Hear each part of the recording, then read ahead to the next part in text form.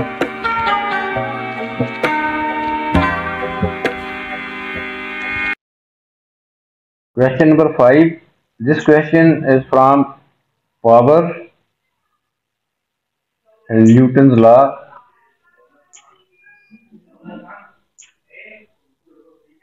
Newton's second law will be used, especially power and Newton's second law. F is equal to ma a cyclist is traveling along a straight horizontal road. A cyclist is traveling along a horizontal road. The total mass of the cyclist and his bicycle is 80 kg. His power output is 240 watt. His acceleration when he is traveling at 6 meter per second is 6 meter per second is the speed and at this speed the acceleration is 0.3 meter per second square show that the resistance to the bike, uh, cyclist motion is 16 newton horizontal motion let this is horizontal road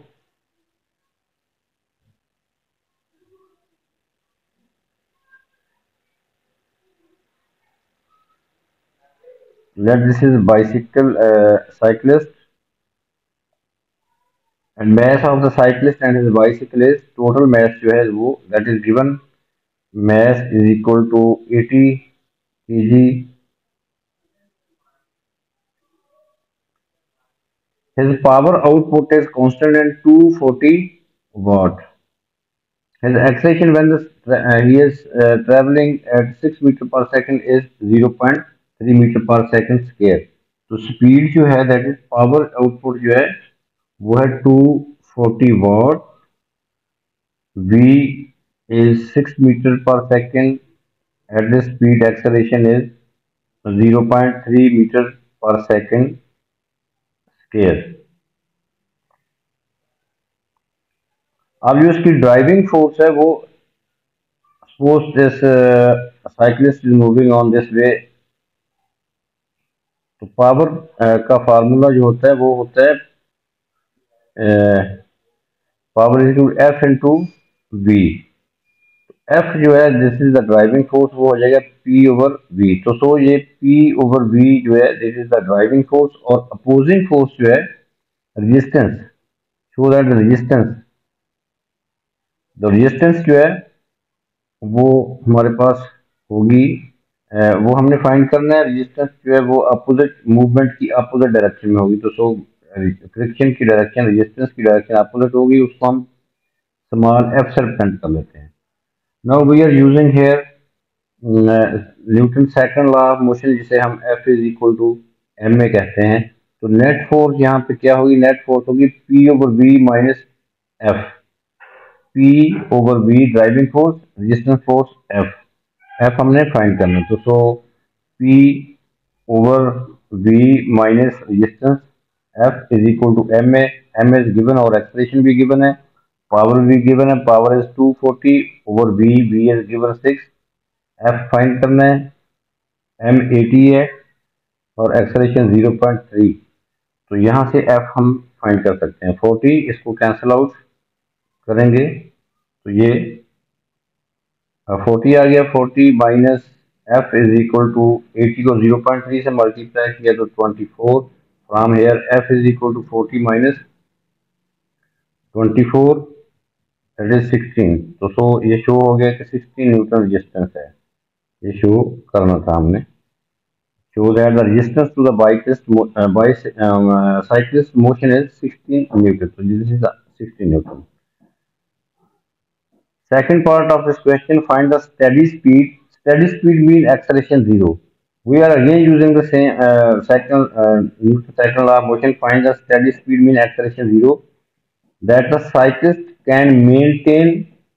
if his power output and the resistance force are both unchanged. Power भी वही रहेगी unchanged है और resistance जो है वो भी same रहेगी तो again we are using Newton cycle of motion steady speed के लिए steady speed mean acceleration is zero क्योंकि स्पीड में चेंज नहीं हो रही again we are using this F is equal to M A अब एक्सलेशन जो है वो जीरो होगा नेट फोर्स एफ क्या होगी नेट फोर्स फिर वही है P over V driving force minus resistance is equal to zero क्योंकि एक्सलेशन यहाँ पे जीरो है इस पार्ट में P over V minus F is equal to zero तो P is same that is 240 over V हमने फाइंड करना है minus sixteen resistance is equal zero two forty over V is equal to sixteen from here we can find V is equal to forty over sixteen two forty over sixteen finally we get is is equal to fifteen cancel out Finally, we get V is equal to 15 meter per second.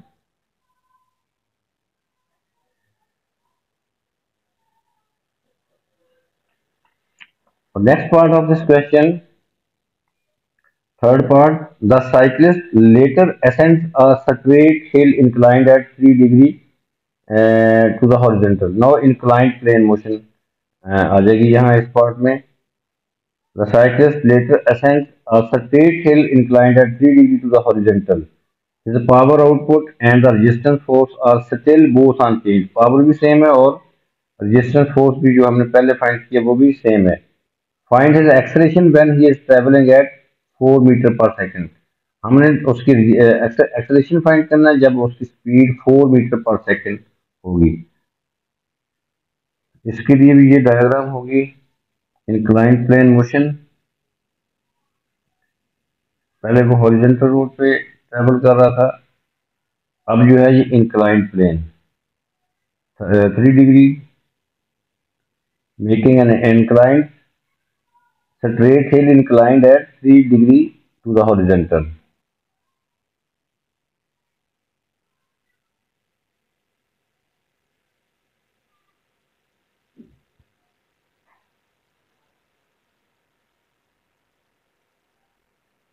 This is 3 degree with the horizontal.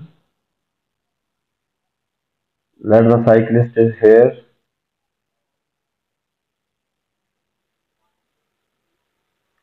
This is a cyclist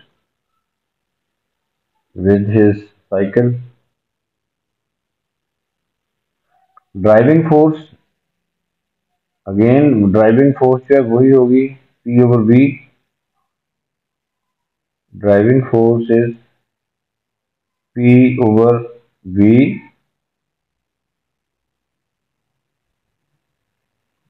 और resistance force जो है that is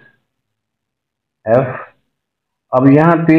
wait जो है एक और force होगी यहाँ पे अप्लाई होगी जो वेट है वेट का कंपोनेंट वेट वर्टिकली डाउनवर्ड हम शो करेंगे पहले the weight of the cyclist and his cycle vertically downward eighty G क्योंकि उसका मैथ एटी है तो वेट एटी जी और uh, इसको रिजॉल्व करेंगे दो कंपोनेंट्स आएंगे एक अलॉन्ग द प्लेन एक perpendicular to the plane so weight को हम रिजॉल्व कर रहे हैं this component perpendicular to the plane ये देखें यहाँ पे प्लेन ये प्लेन है इसके साथ परपेंडिकुलर है दिस कंपोनेंट एक और कंपोनेंट है अलोंग द प्लेन ये कंपोनेंट अलोंग द प्लेन ये कंपोनेंट जो है ये प्लेन के अलोंग है this angle is three degree तो देश ये एंगल भी थ्री डिग्री होगा तो so this angle is three degree अब ये component eighty eighty G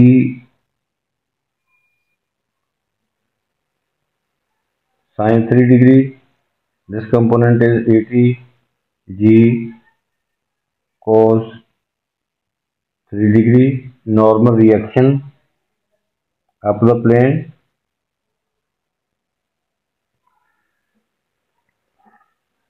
no again we are using this formula F is equal to M N Newton second of motion तो net force क्या होगी अब हमने find क्या करना है फाइंड करना है हमने एक्सलेशन स्पीड क्या फोर्स की स्पीड इसकी फोर मीटर पर सेकेंड है यहाँ पे यहाँ पे एक्सेलेशन फाइंड करना है यहाँ पे जो साइकिलिस्ट है at this point we have to find the acceleration यहाँ पे स्पीड है फोर मीटर पर सेकेंड तो स्पीड हमें गिवन है फोर मीटर पर सेकेंड और पावर सेम है पावर आउटपुट सेम है two forty watt it is given in the question statement and V is sorry V is four metre per second we are we are using this second law of motion net force क्या होगी ये देखें P over V along the plane driving force P over V resistance force जो है resistance जो है F वो minus में आएगी क्योंकि अपोजिट साइन है अपोजिट uh, um, जो है वो arrow shows the opposite direction of this force और ये भी अपोज करेगी वेट का कंपोनेंट जो अलोंग द प्लेन एक्ट कर रहा है ये भी माइनस में होगा तो सो नेट फोर्स जो होगी यहाँ पे वो होगी P over V minus resistance force minus weight का component eighty G sine three degree is equal to this this is F is equal to M A M is eighty और ए हमने find करना है no P is forty V is four two forty over force minus resistance force जो है हमने already find कर लिया हुआ है that is sixteen minus sixteen minus eight eighty और जी की वैल्यू टेन और sine three degree is equal to eighty A from here इसको कैलकुलेट कर लेंगे यूजिंग कैलकुलेटर तो वी गेट ये आ जाएगा सिक्सटी तो sixty minus sixteen sixteen minus eight hundred sine three degree is equal to eighty eight तो eight hundred into sine three degree that is after calculation ये सबको कैलकुलेट कर लेते हैं तो लेफ्ट साइड पे कैलकुलेट करके आ जाएगा two point one three one two आपने यहाँ पे राउंड ऑफ नहीं करना ड्यूरिंग द वर्किंग आपने राउंडिंग ऑफ नहीं करनी is equal to eighty a from here a is equal to two point one three one two divided by eighty तो finally we get after calculation a acceleration जो है वो zero point zero two six six metre पर second square this is the answer